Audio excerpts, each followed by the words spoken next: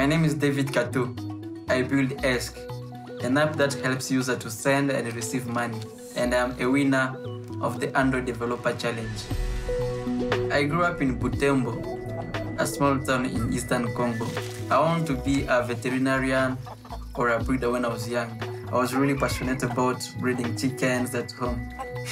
then I discovered smartphones.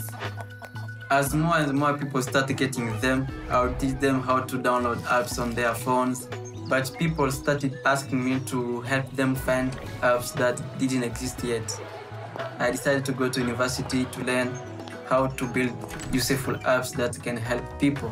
In sub-Saharan Africa, people bank differently. Over 400 million people use a service called mobile money every day, which lets you send money, pay for utility bills, withdraw money as mobile kiosk using USSD, those quick code you dial on your phone.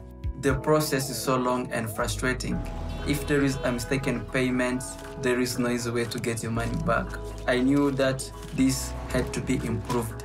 So I created Eskke, an Android app that shows users their transaction history and allow them to make payment swiftly within the app. Machine learning is a new area for me. I'm not an expert, but I saw how it could simplify my app for users.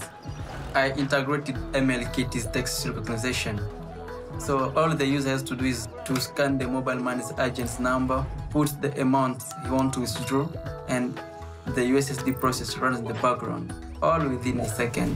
With machine learning, we remove five steps from the process, eliminating human error and the hugely simplify things. Being able to run this on device and offline was so essential for my audience. I hope one day Eskke will be the go-to mobile money app all across rural Africa, making mobile money as accessible as possible.